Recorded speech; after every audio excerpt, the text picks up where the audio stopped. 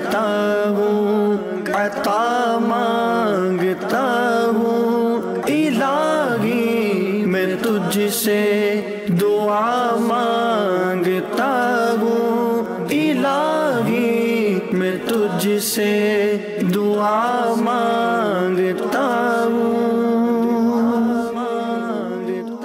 अल्हम्दुलिल्लाह रब्बिल वस्सलातु वस्सलामु अला सय्यिदिल वल मुरसलीन अम्मा बाद फ़ाऊज़ु बिल्लाहि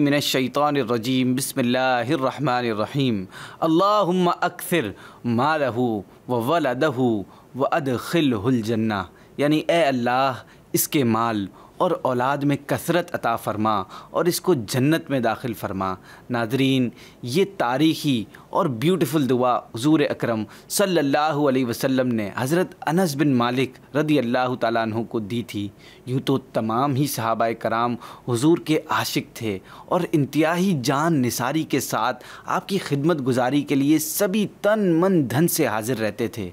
मगर फिर भी चंद ऐसे खुश नसीब हैं जिनका शुमार ताजदार ख़त्म नबूत सल्लल्लाहु अलैहि वसल्लम के खसूसी खादमीन में होता है। मिसाल के तौर पर हज़रत रबिया असलमी रदी अल्लाह तहो ये हुजूर अलैहि वसल्लम के वज़ू कराने के लिए खिदमत अंजाम देते थे, यानी पानी और मिसवाक वगैरह का इंतज़ाम करते थे। हुजूर ने इनको जन्नत की बिशारत दी थी। हज़रत अब्दुल्ला इबन मसऊद रदी अल्लाह तहो ये नालैन शरीफ़ैन और वज़ू का बर्तन और मसनद मिसवाक अपने पास रखते थे और हर जगह, हर वक्त में हमेशा ये खिदमत अंजाम दिया करते थे। हज़रत उक़बा बिन आमिर रदी अल्लाह तहो ये हुजूर अलैहि वसल्लम की सवारी की लगाम थामे रहते थे। हज़रत असला बिन शरीक रदी अल्लाह तहो ये हुजूर अकदस के ऊँट पर कजावा बांधने की खिदमत अंजाम दिया करते थे। और हज़रत अबू ज़र गफ़ारी रदी अल्लाह तहो ये बहुत ही कदीम इस्लाम सहाबी हैं। दरबार नबूवत के बहुत ही ख़ास खादिम थे। इसी तरह इन्हीं खुश नसीबों की फ़हरिस्त में हज़रत अनस बिन मालिक रदी अल्लाह तहों का नाम भी शामिल है। आप हजूर पाक के सबसे ज़्यादा मशहूर और मुमताज़ खादिम हैं। आप कबील अंसार में, खजरज की एक शाख बनी नजार में से हैं।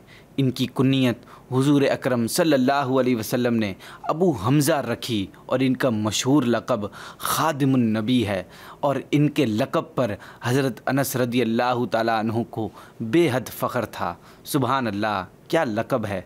और क्यों ना इस पर फ़ख्र हो कि कितना बेहतरीन लक़ब है। दस बरस की उम्र में ये खिदमत अकदस में हाज़िर हुए और दस बरस तक सफ़र वतन, जंग व सुलह, हर जगह, हर हाल में हुजूर अकरम सल्लल्लाहु अलैहि वसल्लम की खिदमत करते रहे और हर दम खिदमत अकदस में हाज़िर रहते। हुजूर अकदस के तबर्रुकात में से इनके पास लाठी थी। आपने वसीयत की थी कि इसको बवक्त दफन मेरे कफन में रख दें। चुनाची ये लाठी आपके कफन में रख दी गई।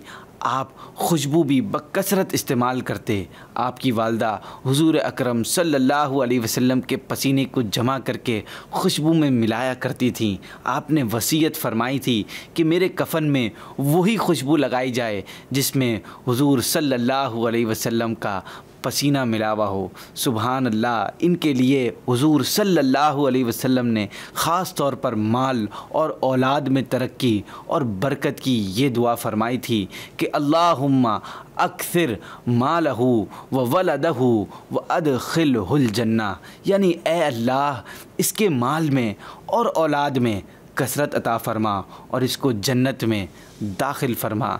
चुनाचे इनके माल और औलाद में बेहद बरकत व तरक्की हुई।